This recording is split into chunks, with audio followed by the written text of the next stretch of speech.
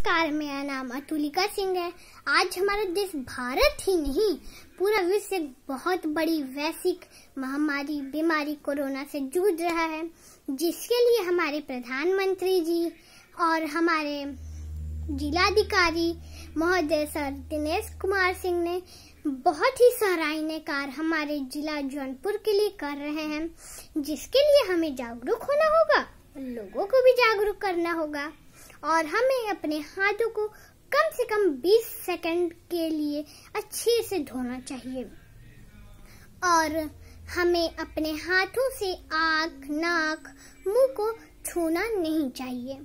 और हमें उपयोग किए हुए टिश्यू को बंद डस्टबिन में डालना चाहिए। अगर बुखार या सिर दर्द हो तो हमें तुरंत अपने नजदीकी स्वास्थ्य केंद्र पर जाकर चेक कराना चाहिए। और ऐसे समय में हमें लोगों से दूर रहना होगा और घरों में रहना चाहिए, ताकि इस बीमारी को बढ़ने से रोकना, रोकने के लिए हमारी सावधानी ही हमारी सुरक्षा है।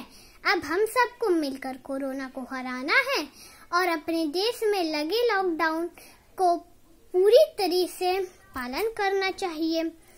बड़े दौर गुजरे हैं ज़िंदगी के, ये दौर भी गुजर जाएगा। बड़े दौर गुजरे हैं ज़िंदगी के, ये दौर भी गुजर जाएगा। थाम लो अपने पावों को घरों में, कोरोना भी थम जाएगा। थाम लो अपने पावों को, कोरोना भी थम जाएगा। जय हिंद, जय भारत।